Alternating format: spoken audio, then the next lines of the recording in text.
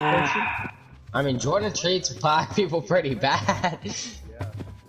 So like he's just fucking adding to the fucking rate to the fucking what to the uh to the uh. Stereotype, yes. What? This guy just what?